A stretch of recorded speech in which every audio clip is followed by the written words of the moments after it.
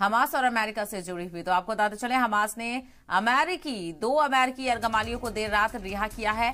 अमेरिकी खातून ज्यूरिथ रैनन और उनकी बेटी नताली को रिहा किया गया है। देर रात उनकी रिहाई का वीडियो भी सामने आया जिसमें माँ बेटी को इसराइली फौज ले जाते हुए दिखाई दे रहे हैं। बताया जा रहा है कि दोनों गाजा पट्टी में रहने वाले अपने रिश्तेदार से मिलने गए थे।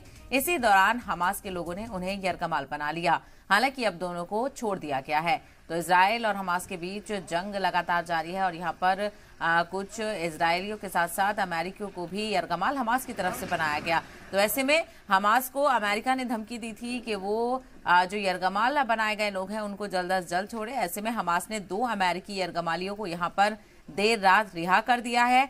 अमेरिकी खातून ज्यूरिथ रैनन और उनकी बेटी नताली को यहाँ पर रिहा किया गया है। देर रात उनकी रिहाई का वीडियो भी सामने आया। तस्वीरों में आप देख सकते हैं, जिसमें आपको माँ बेटी को इसराइली फौज ले जाते हुए दिखाई दे रही होगी। बताया जा रहा है कि दोनों गाजा पट्टी में रहने वाले अपने रिश्तेदार से मिलने गए थे और इसी दौरान जब शुरू, जंग शुरू हुई तो हमास ने इन्हीं लोगों को यरगमाल भी बना यरगमाल बना लिया।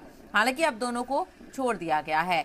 यहाँ पर हालाँकि जंग लगातार शिद्दत इख्तियार करती हुई नज़र आ रही है। हज़ारों मासूम जाने इस जंग में जाया होती हुई नज़र आ रही हैं। लेकिन फ़िलहाल ये जानकारी मिल रही है कि अमेरिका की दो यरगमालियों को हमास ने छोड़ा है, जिसमें दोनों खातून हैं, एक माँ है और एक बेटी, यानी माँ बेटी को यहाँ पर हमास की तरफ़ से छोड़ा गया है और इसराइली फौज इन्हें हमास की तरफ़ से छोड़े जाने के बाद ले जाती हुई नज़र आ रही है। तो रिहाई का वीडियो मंजर आम पर आया।